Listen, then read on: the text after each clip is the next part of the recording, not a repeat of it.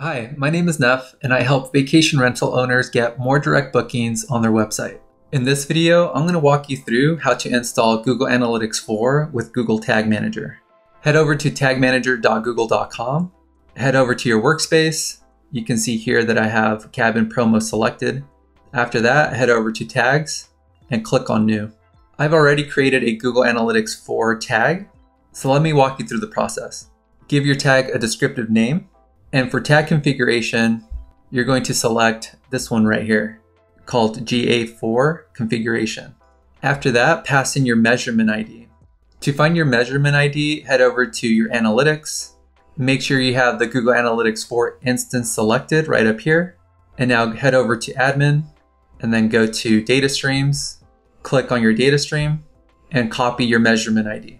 Now head back to Google Tag Manager and what I recommend doing is saving your measurement ID as a variable. To do that, click on this little icon here and go up here in the upper right where you can set up your new variable. Remember to enter a descriptive name and for variable configuration, you're going to select constant under utilities. Select that and then pass in your measurement ID. After you click on save, now you will be able to select your variable when you click on this little icon and then select from this list down here. That'll pass in the variable name with your measurement ID.